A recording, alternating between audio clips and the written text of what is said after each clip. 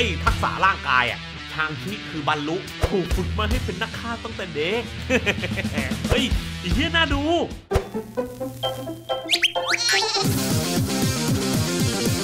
สวัสดีครับ ผมยินดีต้อนรับเข้าสู่หนอนหนัง channel นะครับ ผมวันนี้ก็ยังไม่เสร็จ หมายถึงสตูดิโอใหม่ที่ผมพูดไว้เมื่อคลิปที่แล้วนะครับว่าหนอนหนังช่วงนี้ก็ลงคลิปน้อยมาก เป็นเหตุมาจากผมกำลังทำสตูดิโอใหม่อยู่ เพื่อที่จะอัปเกรดนะครับ เพื่ออัตรสของทุกๆคนนั่นแหละนะครับ เพราะฉะนั้นนะครับก็อะช่วงนี้ก็เปลี่ยนไปตามสถานที่ที่ผมอยู่ณตอนนั้นก่อน สาเหตุที่วันนี้ผมทำคลิป เพราะว่ามันมีตัวอย่างของภาพยนตร์ชางชิ The Regents of Ten Rings ตัวอย่างที่ 2 นะครับผม เมื่อตอนตัวอย่างครั้งแรกเนี่ย ก็ต้องพูดว่าน่าสนใจส่วนตัวผมสนใจนะครับผมถือว่าเป็นสีสันใหม่สำหรับ MCU นะ ที่เราจะได้ดูหนังซูเปอร์ฮีโร่ Marvel Cinematic Universe ที่เป็น feeling เหมือนหนังกำลังภายใน เออแล้วตัวอย่างที่ 2 เนี่ย ผมมีความรู้สึกว่าบวกความเป็นหนัง action comedy แบบเฉินหลงอะ่ะ มันมีกลิ่นกลิ่นแบบหนังเฉินหลงอยู่ด้วย เพราะฉะนั้นเนี่ยตัวอย่างที่ 2 มันจึงค่อนข้างที่จะเพิ่มความน่าสนใจให้ผมได้มากพอสมควร บวกกับว่าตัวอย่างที่2เนี่ยมีช็อตที่หลายๆ คนพูดถึงกันเยอะอย่าง Abomination มังกรใต้น้ำฟินแฟงฟูมอะไรอย่างเงี้ย ก็อะเรามาแตกช็อตตัวอย่างชางชิ The Regents of the Ten Rings ตัวอย่างที่ 2 กันเลยดีกว่าทีแรกนะครับผมเราก็จะได้เห็นแหวนทั้ง 10 อย่างที่ทุกคนทราบกันนะครับผมเขาเอามาปรับเนาะให้มันเป็นกำไรแทน ซึ่งเดี๋ยวในตัวอย่างเนี้ยจะมีการใช้พลังกำไรแบบชัดๆ ด้วยฟีลลิ่งมันเหมือนเห็นแบบ ต่อโยนคอนมันจะมีจังหวะแบบโยนกำไรแล้วแบบปล่อยพลังอะแบบเหมือนอารมณ์แบบโยนกำไรปุ๊บตุ๊กตุ๊ตุ๊ตุ๊ตุ๊อะไรเงี้ยเหมือนเราเห็นต่อโยนคอนโยนเนียแบบคว้างคอนหมุนหมุนหมุนหมุนหมุนหมุนหมุนหมุนแล้วคว้างคอนปุ๊บปุ๊บปุ๊บปุ๊บปุ๊บอะไรอย่างเงี้ยเออมันมีด้วยธงที่ทุกๆ คนเห็นเนี่ยนะครับเป็นธงที่มีสัญลักษณ์ ten rings ถ้าบวกรวมกับประโยคคำพูดที่พูดนะช่วงนี้ก็คือกำไรทั้ง 10 สร้างอำนาจให้กับตระกูลเรา อันเนี้ยก็น่าจะเป็นธงประจำกลุ่มหรือธงประจำตระกูลเออเออประมาณนั้นประมาณนั้นนะ ผมสงสัยมากว่าไอตัวอักษรภาษาจีนนะครับ น่าจะเป็นภาษาจีนนะ ที่อยู่บนธงเนี่ย เป็นตัวอักษรที่ใช้กันอยู่ในปัจจุบัน หรือเป็นตัวอักษรโบราณในอดีต เออ อันเนี้ยน่าสงสัยมาก เพราะว่าถ้ามันไม่ใช่ตัวอักษรที่ใช้กันอยู่ในปัจจุบัน ผมก็จะเกิดคำถามทันที ว่าย้อนไปนานแค่ไหน มันมีโอกาสเป็นไปได้ไหม ที่จะแยบแยบหรือพูดถึงอีเทนอลในหนังเรื่องชางชิเออเพราะว่าการหยอดแบบเนี้ยมันเป็นสิ่งที่หนัง ถ้ามีโอกาสเนี่ย มันก็ไม่แปลกนะ ที่ตัวหนังจะเชื่อมโยงหรือปล่อยข้อมูลเล็กๆ น้อยๆเออ หรือแอบหยอดเหตุการณ์บางอย่างเอาไว้ เพื่อที่จะเป็นเหมือนผมชอบใช้ศัพท์ส่วนตัวคือระเบิดเวลา เราอาจจะมองเห็นหรืออาจจะไม่มองเห็นก็ได้ หรืออาจจะเป็นอารมณ์แบบวางระเบิดเวลาเอาไว้ก่อนหยอดข้อมูลแบบปริศนาบางอย่าง ไว้ในชางชิครั้งนี้ และเมื่อเราได้ไปดูอีเทนอลในอนาคต มันก็จะทำให้ไอปริศนาที่เขาหยอดตรงเนี้ยว้าวมันเซอร์ไพรส์เราขึ้นมาได้อะไรอย่างนั้น เหมือนในตัวอย่างแรกอะ่ะ เราจะได้เห็นชายคนหนึ่งซึ่งน่าจะเป็นเหลียงเฉาเว่ยนั่นแหละนะครับผมใส่กำไลปุ๊วแล้วก็ชกโต๊ะจำได้ป่ะ scene ชกโต๊ะอะแล้วตูมแล้วแม่งโต๊ะระเบิดเออนั่นแหละ มันไม่ได้แค่เสริมพลังอย่างเดียวเว้ยมันยังเป็นอาวุธผมถึงยกตัวอย่างถึงค้อนโยเนียร์ของธอร์เพราะว่า มันมีการใช้ในรูปแบบอื่นด้วยไม่ใช่แค่ support ให้ผู้ใช้มีพละกำลังเหนือมนุษย์อย่างเดียว มันมีการแบบเหวี่ยงบุ้งแล้วแม่งแบบเป็นอาวุธที่ใช้ได้ระยะใกล้และกลาง จนถึงไกลด้วยเออ จนถึงไกลด้วย ไม่มีการโยนไปวูบไปด้วยเออเนี่ยผมอยากเห็นเลยว่าที่สุดแล้วอะในเรื่องอะมันจะมีอะไรให้เราเซอร์ไพรส์ได้อีกแบบว่าพลังของกำไรเนี่ย มันจะสามารถใช้ในรูปแบบไหนอีกเขาจะ ทำให้เราเห็นขนาดไหนนี่ผมอยากเห็นมากทีนี้นะครับเราก็จะได้เห็นนะครับโทนี่เหลียงนะครับเหวี่ยงกำไรวูบคือกำไรเนี่ยมันแยกกันอยู่ก็จริงเว้ยข้างละ 5 วงถูกไหมแต่มันเหมือนเหวี่ยงไปแล้วดึงกลับได้ด้วย เพราะว่าเนี่ยในซีเนี่ยมันปาไปเลยนะเว้ยซึ่งมันปาไปอะมันจะมีอยู่ซีนหนึ่งของตัวอย่างที่โทนี่เหลียงอะเรียกกลับเห็นป่ะเพราะฉะนั้นเนี่ยผมถึงพูดว่า กำไรเนี่ยแม่งแบบผมเห็นแล้วผมนึกถึงคอนโยเนียชีพหายเลยไอ้ความเหมือนเนี่ยผมผมผมไม่ได้ติดอะไร แต่ผมแค่อยากรู้ว่าณตอนเนี้ยมันใช้ทำอะไรได้บ้าง เพราะว่าจริงๆอะผมสงสัยในช่วงอายุของโทนี่เหลียงด้วยว่าชางชิโตขึ้นเว้ยแต่พ่อเขาเหมือนไม่แก่ขึ้นเลย เออ อันเนี้ยผมสงสัยมากว่า เป็นเพราะพลังของกำไรด้วยหรือเปล่า และถ้าชางชิถือครองกำไรเนี่ย นั่นหมายถึงชางชิ อาจจะเป็นตัวละครอีกตัวหนึ่งที่ MCU คาดหวัง ให้แบบอยู่กับจักรวาลไปนานๆเลยหรือเปล่า หรือชางชิจะเป็นอีกหนึ่งตัวละครที่ MCU อาจจะคาดหวังให้ไปอยู่ในไทม์ไลน์ต่างๆ หรือแบกรับปมปัญหาต่างๆ หรือแบกรับสตอรี่บางอย่างในอนาคตหรือเปล่า เออ อันนี้ไม่น่าสนใจ การที่ โทนี่เหลียงหรือแมนดารินเนี่ย อายุยืนในหนังเรื่องนี้แม่งเป็นเบาะแสให้อะไรหลาย ๆ อย่างมาก ๆ เลยนะ มิเชลโยอ่า ในที่สุดเราก็ได้เห็นนะครับว่ามิเชลโยเนี่ย จะมาอยู่ในหนังเรื่องชางชี้เป็นบทแม่ของซิมูหลิวนะครับผมต้องบอกว่าตัวละครที่มิเชลโยรับบทอยู่นะครับ มีชื่อว่าเจียงนาน ผมไม่แน่ใจว่าตัวละครเจียงนานเนี่ย มีในคอมิกไหมเพราะผมทำรีเสิร์ชแล้วแบบเหมือนผมหาไม่เจอนะครับผมเพราะฉะนั้นเนี่ยผมไม่แน่ใจนะ ว่าตัวละครนี้มีในคอมิกหรือเปล่าแต่ที่แน่ ๆ คือ เราได้เห็นแล้วว่าแม่ของชางชิเนี่ยเหมือนยืนอยู่ในชีวิตของชางชิในจุดที่เป็นฝั่งธรรมะเออส่วนพ่อเนี่ยเป็นฝั่งอธรรม เพราะฉะนั้นชางชิเกิดมาภายใต้ครอบครัวที่แม่เป็นคนดี พ่อเป็นคนเลว และเราจะสังเกตได้ว่าชางชิเกลียดพ่อตัวเองมาก เพราะฉะนั้นก็เป็นเรื่องปกตินะครับ ผมที่แม่คือที่พึ่งเดียวหรือที่พึ่งสุดท้ายที่ชางชิเลือกที่จะไปขอความช่วยเหลือ ในช็อตต่อมาคือ เป็นช็อตที่มีคนสี่คนนะครับ ยืนอยู่หน้าบรรยากาศคล้ายๆ ไอ้ภูเขาที่ผมบอกว่าแม่ของชางชิจะพามาฝึกอะผมคาดเดานะ ว่าซ้ายมือเราเนี่ยนะครับ คือมิเชลโย อ่าหรือเจียงนาน คนที่สองถัดมานี้น่าจะเป็นชิงหลิง น้องสาวของชางชินะครับผมส่วนคนต่อมาก็คือน่าจะเป็นชางชิซิมูหลิวนะครับผมส่วนคนต่อมาน่าจะเป็นเคที่นะครับผมทั้งหมดเนี่ยมาที่นี่เนี่ยผมโยนข้อสงสัยไว้ก่อน 1 คือฝึกนะครับผมเพราะว่า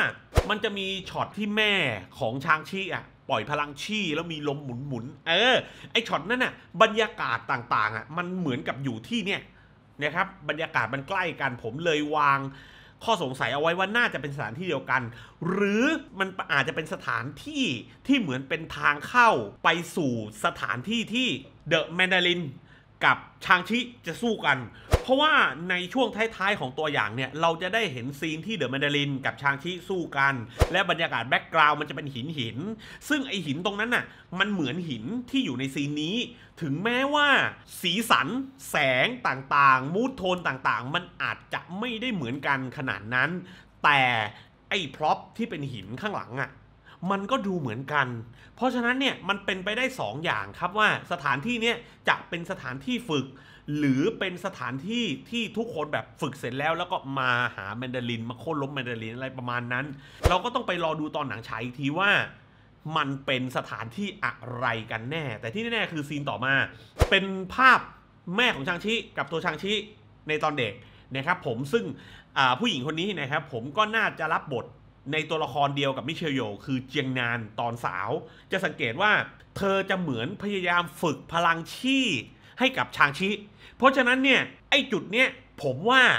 น่าจะเป็นอีกหนึ่งประเด็นที่หนังเล่นก็คือพระเอกอะเหมือนกับว่าเติบโตมาโดยพ่อที่เป็นเหมือนอหัวหน้าองค์กร Ten Rings ที่เหมือนอยู่ฝั่งฝั่งเลวเออฝั่งเลวนะครับผมและพ่อของชางชิเนี่ย ก็ฝึกฝนชางชิในรูปแบบของการฝึกร่างกาย ทักษะร่างกายและการต่อสู้ และเราจะสังเกตได้ว่า ชางชิเนี่ยเหมือนแทบจะเป็นแบบหัวกะทิขององค์กรเทนริงเลย เพราะฉะนั้นชางชิเนี่ยน่าจะเก่งแล้วล่ะไอเรื่องกังฟูเรื่องการต่อสู้อะไรอย่างเงี้ยแต่เรื่องพลังชีเนี่ยผมว่าเริ่มเรื่องมาเนี่ยชางชิน่าจะไม่ได้มีพลังชีที่เก่งมาก เพราะหนึ่งอย่างที่ภาพยนตร์ ทุกเรื่องนะครับทำก็คือทำให้ตัวละครมีอะไรบางอย่างที่ยังไม่เก่ง หรือมีอะไรบางอย่างที่ยังไม่ได้ถูกพัฒนา สาเหตุที่หนังทุกเรื่องต้องมีแบบนั้น เพราะว่ามันจะได้เกิดการพัฒนาของสิ่งสิ่งนั้นภายในภาพยนตร์เรื่องนั้นๆ ผมมองว่าชางชิก็น่าจะใช้พลังชี่นี่แหละนะครับ ในการที่ทำให้ตัวชางชิคือตัวเอกซิมูลิวของเราเนี่ยมีกิมมิคในการพัฒนาตัวเอง หมายความว่า พระเอกเป็นนักสู้ที่เก่งแล้วแต่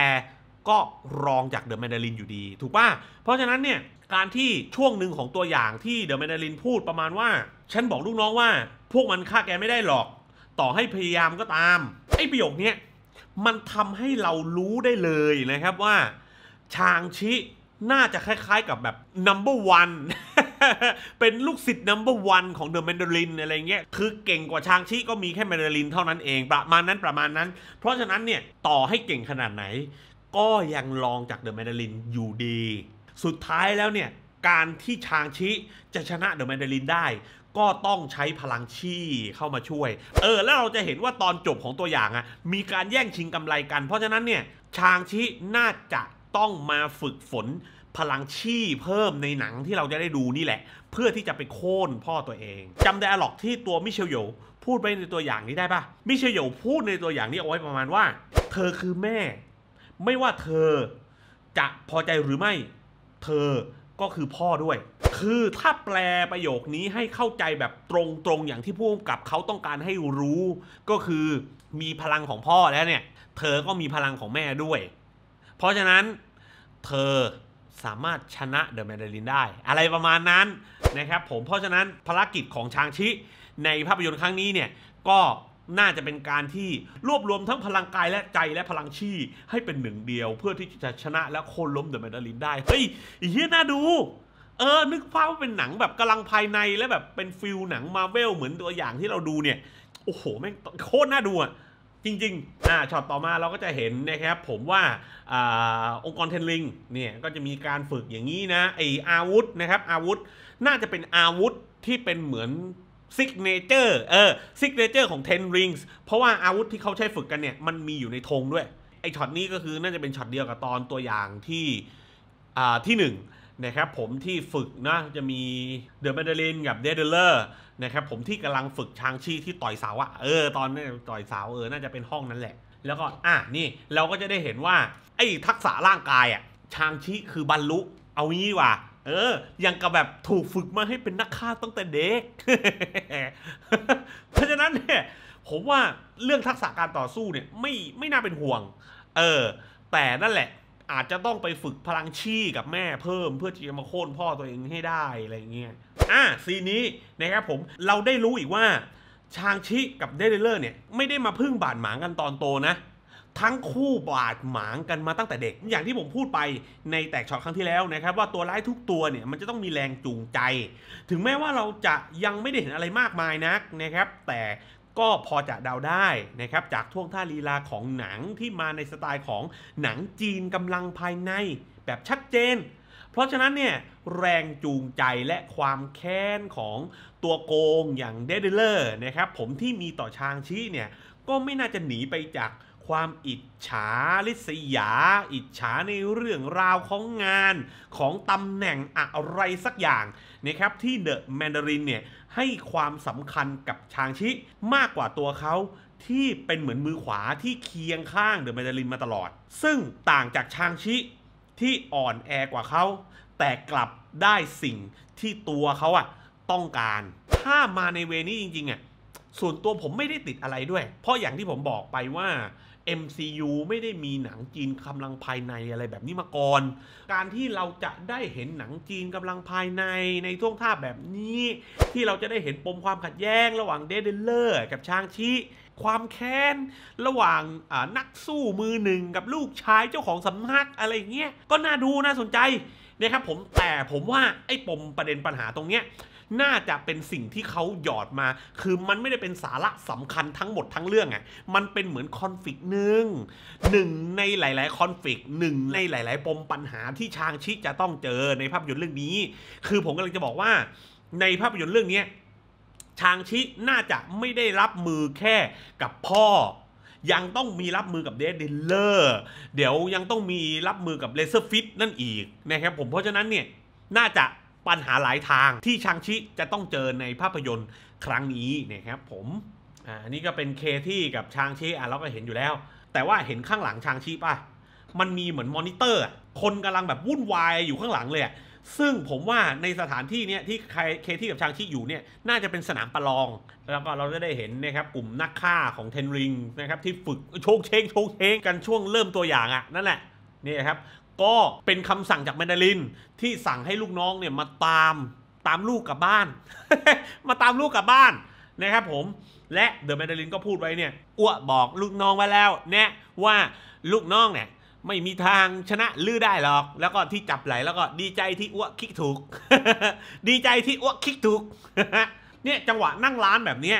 ทำให้นึกถึงเฉินหลงชิบหาย คือผมเอาจริงผมติดภาพแหละ เออ พอนึกถึงนั่งร้านน่ะ จะนึกถึงเฉินหลง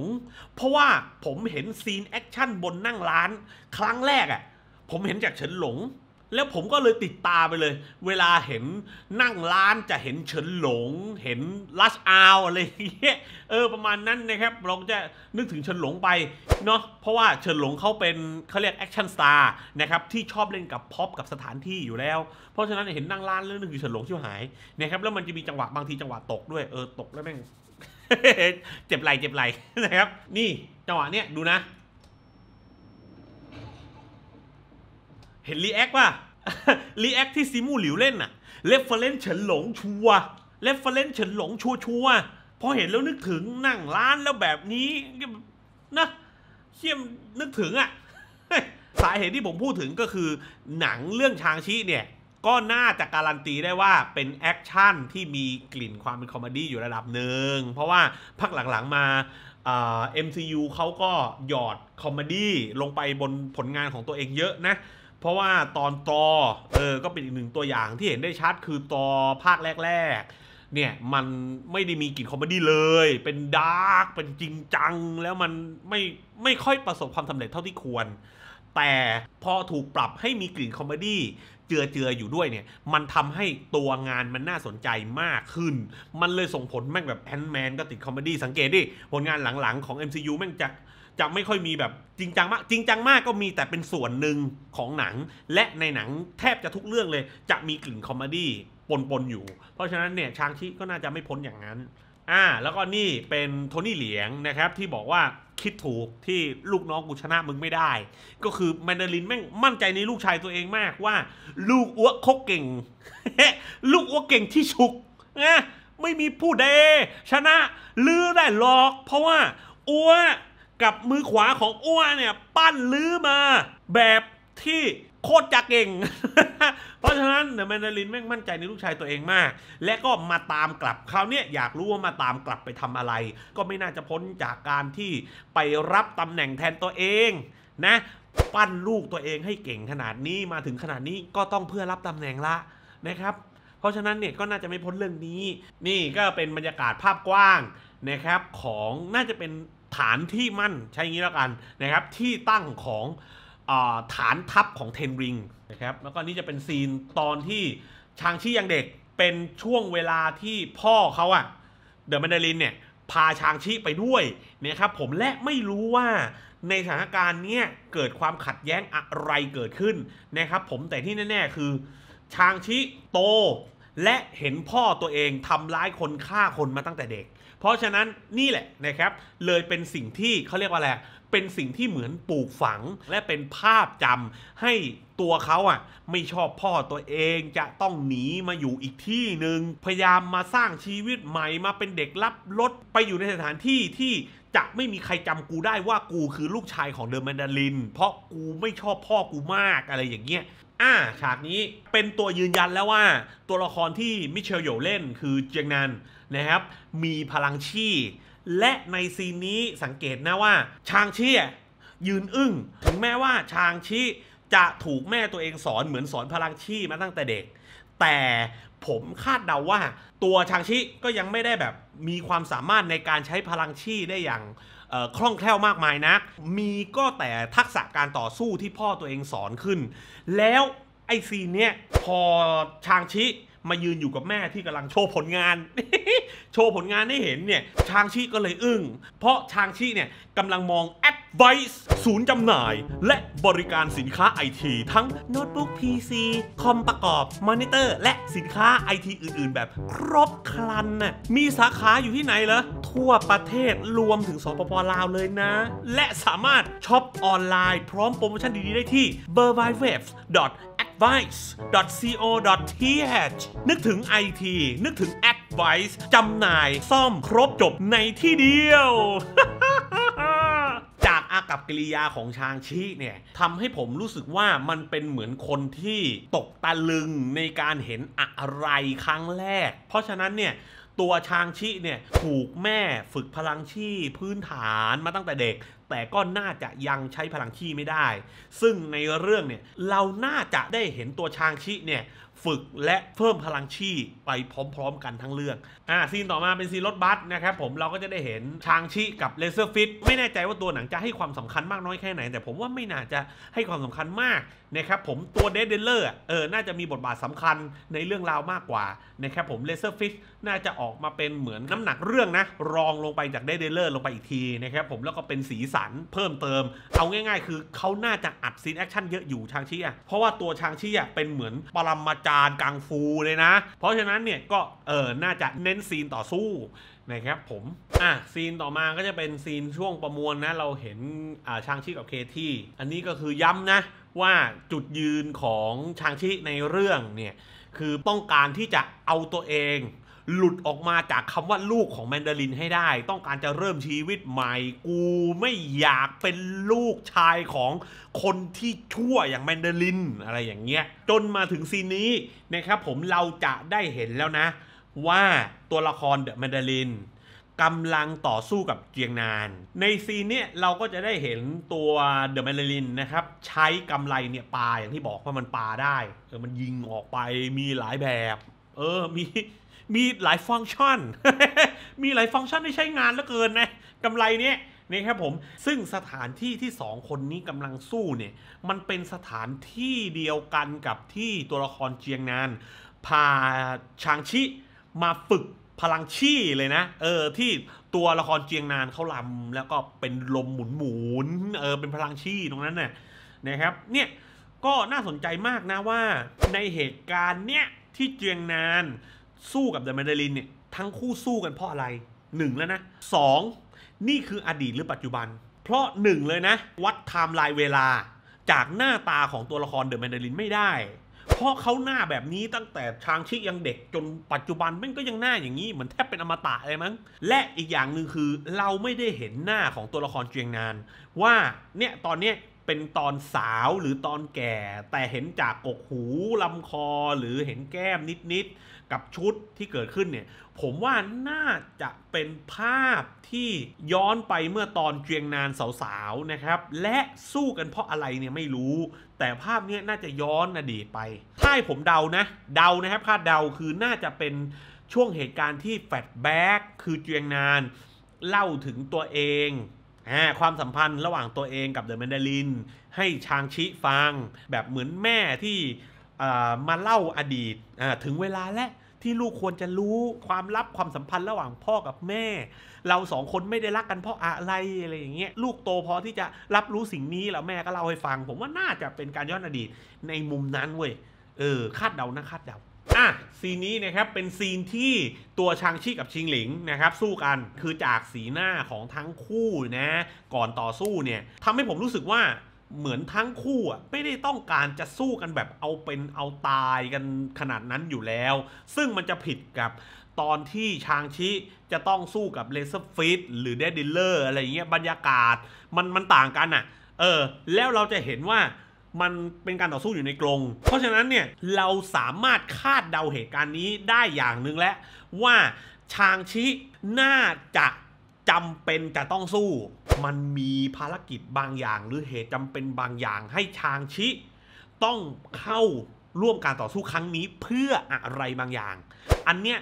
เพื่ออะไรอะเราก็ต้องไปดูในหนังอีกที ซึ่งตอนนี้ก็อยากรู้เหมือนกันว่ามันเพื่ออะไรวะอ่านี่ก็เป็นซีนที่ ตัวเดอะแมนดารินนะครับ รับวงแหวนแล้วก็ปล่อยวงแหวน ยิงพลังยิงพลังอะไรได้นะครับ ฟังก์ชันโชว์ฟังก์ชันนะเหมือนขายรถสปอร์ตนะต้องโชว์ฟังก์ชันซีนนี้ก็เป็นซีนที่ซิมูหลิวตกน้ำนะครับแล้วก็เห็นมังกร เป็นไปได้ว่านะครับซีนนี้เนี่ยอาจจะเป็นภาพความฝันหรือความจริงก็ได้ เพราะก่อนหน้านี้ เราได้เห็นมันจะมีหมาหรือสิงโตบางอย่าง ซึ่งเป็นเหมือนสัตว์โบราณดูแฟนตาซีเลยนะ การที่จะมีมังกรในน้ำแบบนี้แม่งก็ไม่แปลกแล้วแต่มันจะเป็นภาพจริงหรือภาพฝัน อันนี้ก็ต้องไปรอดูในหนังอีกทีนึง แต่อย่างน้อยๆ ในเวอร์ชันคอมิกนะครับมันจะมีเผ่าพันธุ์ของมนุษย์ต่างดาว ที่ชื่อว่ามาคลวนนะครับผม เผ่าพันธุ์มาคลวนเนี่ย ก็เป็นเผ่าพันธุ์ต่างดาวนะครับ ผมที่มีหน้าตาคล้ายมังกรเลยนะครับแฝงตัวอยู่ในโลกมนุษย์มานานแล้วนะครับ ผมมนุษย์จึงมีการบูชาเทพเจ้า บูชามังกร ก็เป็นสิ่งที่มาเวลทำบ่อยๆ ก็คือ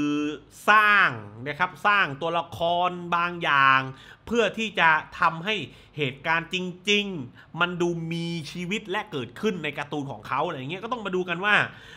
ทาง MCU เนี่ยจะหยิบยกจุดเนี้ย มาใช้ในหนังของตัวเองอะ่ะในรูปแบบไหนอ่าแล้วก็ซีนต่อมาเป็นซีนที่ผมค่อนข้างจะรอดูนะครับผมถึงแม้ว่าเอาจริง ๆ แล้วนะ CG มันจะดูแบบเฮียลอยๆนิดนึงอะ่ะเหมือนเราเห็น Black Panther อะเออที่สู้กับมี Killmonger ที่หล่นลงไปใต้พื้นที่ใต้ใต้ใต้ใต้ใต้จริง ๆ ตอนนั้นนะถามว่ามันมันก็มันแหละแต่มันก็ดูลอยไง เออเนี่ยคล้าย ๆ กัน แต่มันเป็นซีนที่ทางชางชิเนี่ยครับถือกำไลไว้ 2 อันแล้วดึง กับเดอะแมนดารินถือกำไลไว้ 2 อันแล้วดึง เพราะฉะนั้นทั้งคู่กำลังแย่งกำไลกัน แต่ที่ผมตื่นเต้นกับเหตุการณ์นี้ก็คือ ลองนึกภาพว่าชางชิเนี่ยเดิมทีนะเขาเป็นตัวละครที่ไม่ได้มีพลังพิเศษเขาไม่ได้มีพลังพิเศษไม่ได้เป็นซูเปอร์ฮีโร่เหมือนตัวซูเปอร์ฮีโร่ตัวอื่นๆ เพราะฉะนั้นเนี่ยถ้าสมมุตินะจบจากหนังเรื่องนี้ไปแล้วเนี่ยชางชิครองกำไร อ่าแล้วมีพลังเหนือมนุษย์จากกำไรชางชิก็สามารถไปยืนคู่กับพวกตอ ยืนคู่กับพวกฮาร์กยืนคู่กับพวกนู้นได้อย่างแบบเป็นเหตุเป็นผลน่ะดูเท่ากันดูเท่ากัน เพราะฉะนั้นเนี่ยณตอนนี้นะเราสามารถฟันธงได้อย่างหนึ่งว่า ชางชิใน MCU เนี่ยจะมีความต่างจากคอมิกพอสมควร ผมว่าน่าจะมีความต่างพอสมควร คือภาพลักษณ์ของชางชิ ใน MCU ก็คงยังเป็นปรมาจารย์กังฟูนั่นแหละ แต่หมายถึงพวกรูปลักษณ์ต่างๆ พวกวิธีการใช้พลังซีนแอคชั่นต่างๆ ก็อาจจะเปลี่ยนไปนะครับผมเราอาจจะได้เห็นชางชิใน MCU ที่มี feeling ของปรมาจารย์กังฟู บวกซูเปอร์ฮีโร่เหนือมนุษย์อยู่บ้างนะครับผม เพราะฉะนั้นเนี่ยจุดเนี้ยแม่งอยากเห็นชิบหายว่าสุดท้ายแล้วจบชางชิอะชางชิของ MCU จะหน้าตาเป็นยังไง เออตอน final แล้วแบบรวมๆแล้วอะ นี่ก็เป็นอีกซีนหนึ่งที่เฮียตอนดูโคตรช็อกเลย ไม่ได้เตรียมใจมาก่อนว่าจะได้เห็น Abomination คือว่องก็ตกใจระดับหนึ่งแล้วนะ เพราะว่องมันเป็นตัวละครที่อยู่ในภาพยนตร์ของ Doctor Strange ถูกไหมครับ แต่มี Abomination คือตัว Abomination เนี่ย เราได้เห็นเขาเมื่อตอนนู่น The Incredible Hulk ปี 2008 นู่นเลยนะครับ ซึ่งในอดีตถ้าผมจำไม่ผิดนะ ผมเหมือนจะจำได้ว่า เหมือนเราจะไม่ได้บวกรวมฮัก ชุดนั้นอยู่ในจักรวาล MCU แล้วด้วยซ้ำไปนี่ ใช่ไหมเพราะฉะนั้นเนี่ยค่อนข้างตกใจ เออ ตอนเห็นแวบแรกผมเซอร์ไพรส์บกงง ว่า เอ๊ะ ไม่รวมแล้วไม่ใช่เหรอ แต่ทำไมเห็นแต่ว่ามีโอกาสสูงมากนะครับว่า Abomination ตัวนี้จะเป็น Abomination คนละตัว หมายถึงว่ามันไม่ได้เชื่อมโยงกันขนาดนั้น เป็นคนละคนก็เป็นไปได้ สิ่งที่ผมคิดว่ามันน่าจะเป็นตัวละครคนละตัวกัน ก็คือสังเกตที่หูนะครับ หูของ Abomination ตอนเวอร์ชั่นปี 2008 นู่นนะครับ มันจะไม่มีหูแหมโล้นๆนะฮะโป้งเหน่งก็โล้นๆอย่างนี้นะครับผมแต่ว่าพอมาเป็นเวอร์ชั่นชางชิเนี่ยที่เราจะได้ดูเนี่ย มันจะมีหูโดยที่อ้างอิงจากเวอร์ชั่น comic เลย เออ ใน comic ก็จะมีหูเหมือนเป็นปลาอย่างเงี้ยอยู่นะครับผม ซึ่งมันจะต่างจาก Abomination ในเวอร์ชั่นของปี 2008อ่า The Incredible Hulk ครั้งนู้นนะครับ คือมันจะไม่มีหูเห็นไหมแต่ว่าอาแผงคอที่หลังอาจจะมีเหมือนกันนะครับผม เอาเป็นว่าไม่ว่า Abomination ตัวเนี้ยจะเป็นตัวเดียวกันกับของเวอร์ชั่นปี 2008 หรือเปล่า คือ เท่าที่ผมหาข่าวมานะ อัปเดตให้ทุกคนทราบ ตัวละครเนี้ยนะ เป็นหว่องแน่นอน แต่ว่าอาจจะออกมาไม่เยอะนะครับแบบออกมาแวบๆพอพอให้ทุกคนได้พูดถึงนะครับผม แต่นักแสดงที่เล่นเป็น Abomination ในปี 2008อะคือทิมบรอสไม่แน่ใจคือผมหาไม่เจอนะ ว่ามีใครเห็นทิมบรอสอยู่ในกองถ่ายของชางชิครั้งนี้เนี่ยผมไม่เจอหาไม่เจอจริงๆ เพราะฉะนั้นเนี่ยก็มีโอกาสเป็นไปได้นะ ที่ตัวละคร Abomination ตัวเนี้ยจะเป็นคนละตัวกับที่ทิมรอสเล่นเอาไว้เมื่อปี 2008 หรือถ้าเป็นตัวเดียวกันก็ผมก็ไม่ได้ติดนะ เอาจริงๆ จะผูกไม่ผูกก็ได้เล่ามาเถอะเหี้ยเล่าให้มันมันๆน่ะ ขอมันๆหน่อยแค่นั้นพอแล้ว จริง ๆ ผูกก็ได้ไม่ผูกก็ได้ แต่ซีเนี้ยเราน่าจะได้เห็นซึ่งก็น่าจะเป็นฉากสั้นๆนะผมคิดว่านะ ฉากสั้นๆ แต่ก็รอดูนะครับผมว่า Abomination กับวองเนี่ย จะสู้กันขนาดไหนให้เราเห็นมากน้อยแค่ไหน หรือจะเห็นแค่นี้เลย ถ้าเห็นแค่นี้เลยนี่มีด่าเหมือนกันนะ แต่ก็อะ รอดูครับ ก็ประมาณนี้นะครับผมแตกช็อตช้างชิตัวอย่างที่ 2 หนอนหนังทำคลิปนี้ค่อนข้างช้าแล้วนะครับผมเพราะว่าอย่างที่ผมบอกทุกคนไปว่าช่วงนี้ผมทำสตูดิโอใหม่อยู่กำลังบิ้วใหม่อยู่นะครับผมเพราะฉะนั้นเนี่ยเนี่ยผมว่างที่ไหนก็ตั้งกล้องถ่ายที่นั่นก่อนนะครับผมก็กำลังยุ่งๆกับการทำสตูดิโอด้วยนะครับผมช่วงนี้ก็อาจจะลงคลิปน้อยหน่อยนะครับอาทิตย์หนึ่งคลิป 2 คลิปเองนะครับก็ไม่เป็นไรนะ ขอให้ทุกคนใจเย็นๆนะครับผมเดี๋ยวพอมันเริ่มอยู่ตัวปั๊บเดี๋ยวจะกลับมานะครับลงคลิปให้ทุกคนดูบ่อยๆ เหมือนเดิมนะครับผมแต่ครั้งนี้นะครับเป็นตัวอย่างที่ 2 ของชางชิ The Regents of the Ten Rings นะครับซึ่งอยากดูแล้วจริงๆนะเนี่ยณขณะที่ผมถ่ายเนี่ยเอาแล้วล็อกดาวน์อีกแล้วกรุงเทพเอาแล้วโรงหนังปิดแล้วอาควายเพลสอะเข้าลงไปแล้วด้วยเชี่ยแม่งสงสารที่ไหนสงสารฝ่ายผลิตสงสารเจ้าของโรงหนังสงสารไอ้เชี่ยแม่ง สงสารกันไม่ถูกแล้วอะไม่รู้จะสงสารใครก่อนสงสารตัวคุณเองก็สงสารด้วย ผมไม่อยากพูดว่าให้ทุกคนสู้ๆอะเพราะทุกคนกำลังสู้อยู่แล้ว สู้กันจนจะตายอยู่แล้วเอาเป็นว่าผมขอเป็นอีกหนึ่งกำลังใจให้ทุกคนผ่านพ้นช่วงนี้ไปให้ได้แล้วกันนะครับ ผมแล้วก็ สุดท้ายนี้นะครับขอขอบคุณผู้สนับสนุนใจดีในคลิปนี้นะครับ ยินดีต้อนรับ Advice สู่ครอบครัวหนอนหนังนะครับผม ยังไงฝาก Advice ไว้กับทุกๆคนด้วยนะครับผมนึกถึง IT นึกถึง Advice จำหน่ายและซ่อมครบจบในที่เดียวครับ ผมฝากแอดไว้ไปกับทุกๆท่านด้วยนะครับ สามารถที่จะไปเช็คนะ สินค้าของเขาพร้อมโปรโมชั่นดีๆ ได้ที่ www.advice.co.th แล้วก็ฝากทุกคนทำหนึ่งอย่างนะครับ คือฝากกดไลค์กด Subscribe ให้หนอนหนังด้วย นะครับนอนหนังมีระบบสมาชิกแล้วนะครับผมใครที่ต้องการจะสนับสนุนนอนหนังก็เลือกสนับสนุนตามความเหมาะสมของทุกๆท่านได้เลยนะครับผมแล้วก็เดี๋ยวเร็วๆนี้ ผมได้หนังดี เออผมได้หนังดีหายากมา จำนวนหนึ่งนะครับ เตรียมจะมาแจกสมาชิกทุกๆ คนนะครับ ผมเดี๋ยวผมจะทำการแจกในไลฟ์แหละครับ ช่วงนี้ไลฟ์หายไปเพราะว่าสตูดิโอกำลังทำคือไลฟ์ต้องสตูดิโอเสร็จ ถึงจะได้จัดอีกครั้งหนึ่งสุดท้ายนี้นะครับฝากถึงคอหนังทุกท่านนะครับไม่ว่าภาพยนตร์เรื่องนั้นนะจะเป็นภาพยนตร์ที่โคตรประทับใจหรือเฮี้ยจับใจก็ตามนะครับภาพยนตร์ทุกเรื่องมันตามหาคนที่คุยกับมันเสมอ คุณจะรู้ได้ยังไงครับ ก็ต้องไปดูด้วยตาคุณเองนะครับ แล้วจะรู้ว่าภาพยนตร์เรื่องนั้นมันจะคุยกับคุณหรือเปล่า แต่สำหรับผมวันนี้ขอลาไปก่อนนะครับผมสวัสดีครับ